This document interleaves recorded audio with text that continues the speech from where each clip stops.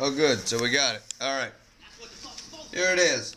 Well, I got an envelope from this uh, Catholic church, St. Matthew's, I believe it is.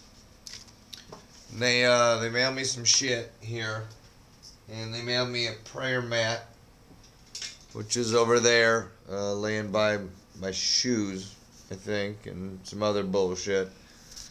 So they uh, asked me if I wanted to mail him a prayer wish and all that business. And I decided to mail him a dollar. It says fuck you on it. Because they're uh, brutalizing the postal system and um, actually being annoying. But I can mail shit for free, so I'm going to mail him a dollar. That says fuck you on it. And yeah, there it is. Trust me, that's what it says. So, um, yeah, that's uh, what I'm doing for my day.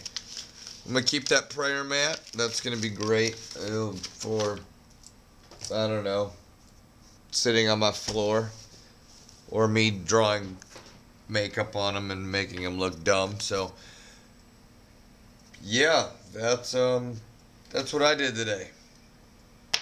Um, I don't know if I feel like I'm screwing the postal system or fucking this church. I don't really know what the hell's happening, but uh, that's what uh, that's today's vlog. So